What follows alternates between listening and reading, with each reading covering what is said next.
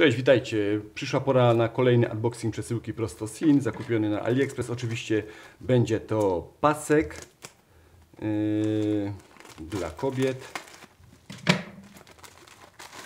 Paseczek ten kosztował 35 zł wraz z przesyłką, 9 dolarów dokładnie. I jest to pasek skórzany o takiej mm, dosyć nietypowej fakturze z taką oto klamrą. Zaraz się mu przyjrzymy, wyciągniemy z tego z tej folii. Szerokość paska to 3,5 cm.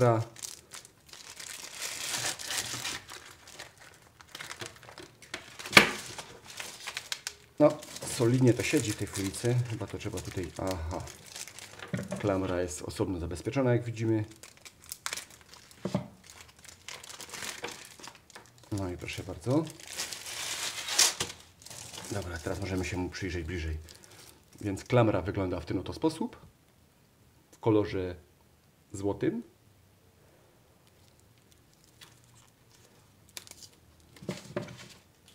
Mamy tu jeszcze jakąś no, kilka razy metka, kod matrycowy, e, kreskowy kod, dużo kodów nam tu dali. Widzimy nawet logo, sygnowane jest takim oto logo. Mhm. Jeszcze zerknijmy sobie na te metki. Z tyłu całkowicie po chińsku. Pasek jest według tego, co producent deklarował na stronie jest z prawdziwej skóry będle, będlęcej, także nie wiem na ile można w to wierzyć, ale miejmy nadzieję, że tak jest. I sam paseczek proszę zobaczyć.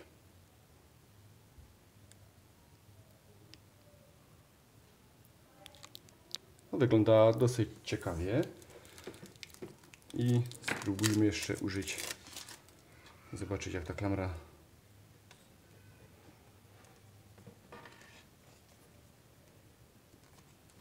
Chyba w ten sposób. No tak. Mamy zamknięty. No, całkiem y, ciekawy pasek, jak na dokładnie 33 zł 50 groszy po obecnym kursie, no ale trzeba przyjąć, że kurs jest ostatnio zmienny. Na stronie mojej jest też poradnik, jak ograniczyć sobie koszty płatności, także warto przeczytać. Mm, no i to by było na tyle. Proszę subskrybować kanał, niebawem y, będą kolejne zakupy Prostosin. O, proszę jeszcze tutaj Zerknijmy na wewnętrzną stronę paska. Też tu zostały wygrawerowane takie oto informacje, Made in China. No i logo.